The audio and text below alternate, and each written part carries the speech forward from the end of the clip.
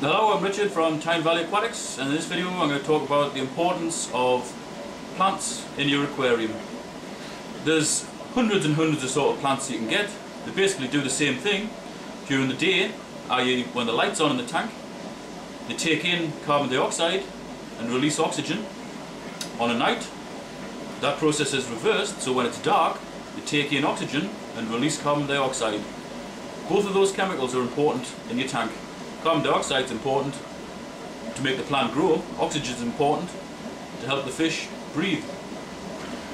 Plants do something else as well. They also take up nutrients from the bottom of your tank, i.e. dissolved food, fish waste, all of that muck, useful to, useful to plants. They provide habitat for your smaller fish to hide in. Uh, your plecs will graze the algae on it, as will shrimps, uh, your algae-eating shrimps.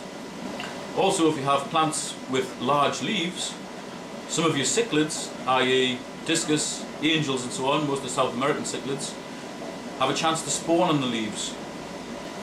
Plants are also very useful for the fry of a lot of the fish. The likes of your live bearers are always spitting fry out.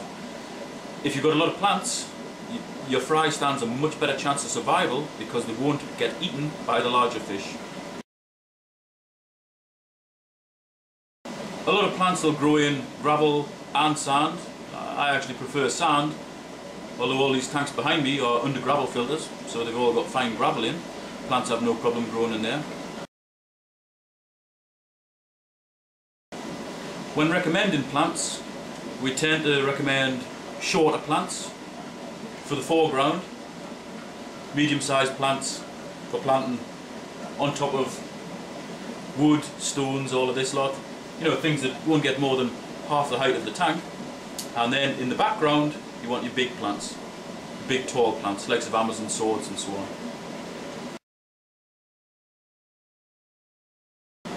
We found that one of the best ways to put plants in your tank, which doesn't take up any of the space on the bottom of your tank, which is important if you've got quite a, a, a narrow tank or a small one, is to plant it onto bogwood.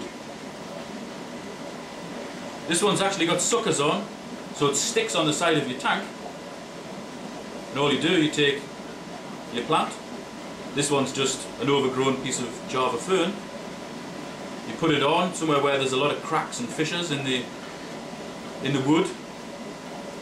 You tie it on with fishing nylon and in a couple of months time, because these are quite slow growing plants, in a, in a couple of months time the roots will have got into all the cracks and they'll have stuck the plant to the wood. You'll have a really attractive feature, nice big leaves, and it'll, it'll actually be useful for the fish. You can always put Java moss on as well. This goes absolutely berserk in your tank once it gets a hold. Sticks to all the surfaces, creates a lovely effect on your wood. Very good if you've got shrimps and you want to breed them.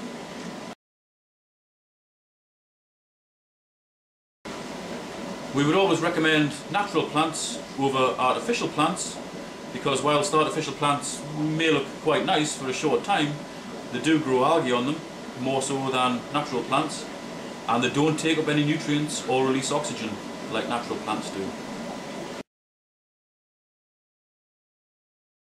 With regard to the successful growing of plants and their survival, lighting in your tank is very important.